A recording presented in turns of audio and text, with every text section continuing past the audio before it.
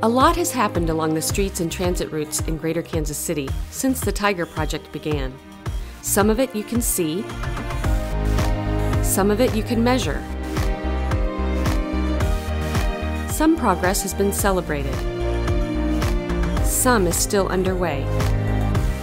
And all of it has created jobs, invested in our economy, and connected our community from one neighborhood to another, and from our past to our future. One of the highlights of this project is the big stone wall behind me. In that wall are 13 Wyandotte Nation clan symbols of the clans that represent the Wyandotte Nation, and they've been very helpful partners. This is our westbound Connex bus station.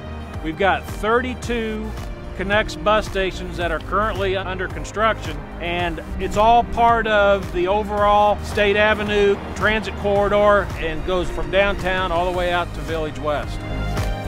One of three new transit centers is complete, and the end is in sight for construction of the remaining two, including this central location at 47th and State Avenue, with routes to the entire metro area.